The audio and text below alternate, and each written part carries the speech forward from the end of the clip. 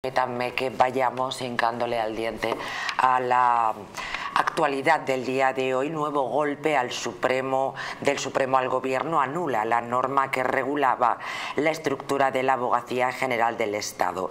La Sala de lo Contencioso Administrativo subraya que debió recabarse informe del Consejo de Estado con carácter previo a la aprobación del Real Decreto al tratarse de una modificación extensa y sustancial de un reglamento dictado en ejecución de una ley.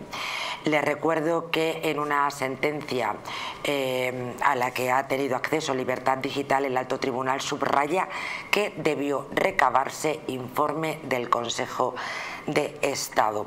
A juicio del Supremo, la consecuencia no puede ser otra que la nulidad de todo el Real Decreto y no solo de los preceptos inicialmente impugnados frente a las alegaciones de la Abogacía del Estado, que justificaba esa ausencia por el carácter meramente organizativo de la norma. Sobre este asunto, eh, luego veremos que tenemos varias ramificaciones.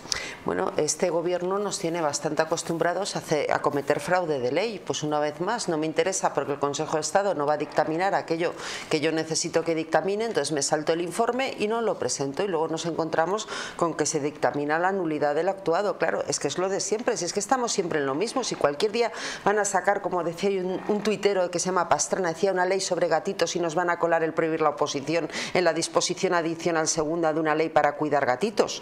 O sea, es que están todo el día en el fraude de ley. Pues esta es una más, no les apetecía pedir el informe del Consejo de Estado.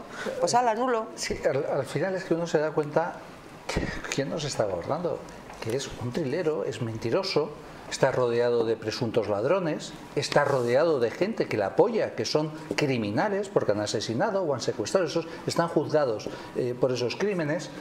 Es que está rodeado de gente que hay que amnistiar por delitos que ha cometido y está haciendo la propia ley para amnistiar a sus propios socios y no solo a sus socios, a lo mejor a la presunta ladrona de Begoña Gómez o, al presunto ladrón de Coldo o al presunto ladrón del hermano del presidente. Pero vamos, que, que, lo que busca es amnistiar a gente que es delincuente.